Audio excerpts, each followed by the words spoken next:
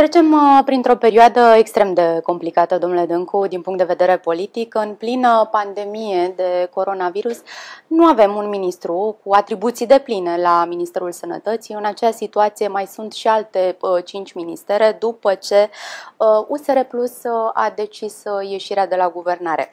Interesant însă este faptul că, deși uh, miniștrii au plecat uh, din uh, guvernul uh, Câțu, au rămas uh, totuși uh, prefecții, subprefecții, uh, pozițiile obținute de US. Exact. Secretarii de stat, obținute... toate pozițiile de putere pe care le-au obținut uh, au rămas. Uh, sigur că plecarea de la guvernare este grea, probabil.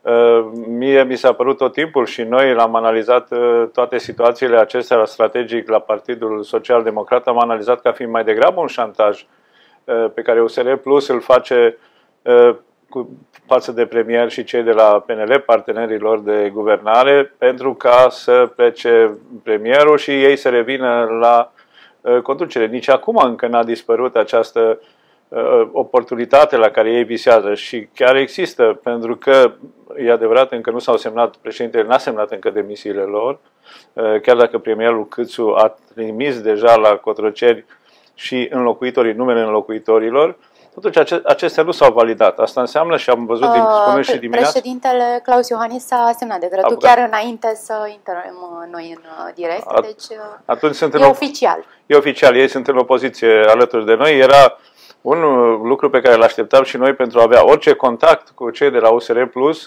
era acesta să fie în opoziție.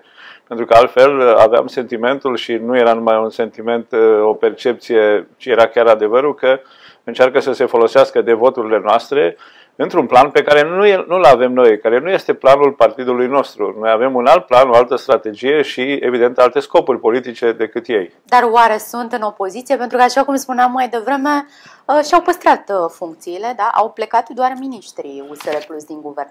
Celelalte funcții au rămas. Oare sunt ei în opoziție? Nu sunt în, nu sunt în opoziție încă, dar s-ar putea ca să fie în opoziție peste câteva zile. Nu cred că premierul Câțu Uh, nu va demite prefecții foarte repede, pentru că, într-un fel, este un, și o modalitate de a face presiune asupra USR uh, Plus, pentru că, în viziunea mea, așa cum uh, am văzut că se întâmplă în ultima vreme, totuși atât USR Plus cât și premierul Câțu și PNL visează încă la continuitatea acestei coaliții. Încă nu s-au despărțit de tot și caută încă soluții pentru ca să nu se despartă.